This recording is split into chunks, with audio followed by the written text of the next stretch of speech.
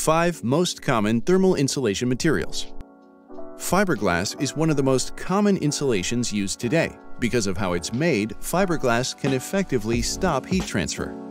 Another common material is mineral wool, which can refer to glass or rock wool. For large areas, it is best used in conjunction with more fire-resistant forms of insulation. Cellulose is perhaps one of the most eco-friendly and fire-resistant forms of thermal insulation.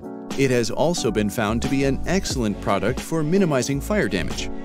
A fourth common material is polyurethane foam. Using non-chlorofluorocarbon CFC gas as a blowing agent, it can help reduce damage to the ozone layer. Finally, we have polystyrene, which is a waterproof thermoplastic foam. Typically, the foam is created or cut into blocks ideal for wall insulation. Contact Thermaxx to learn more about the best insulation materials for your specific application.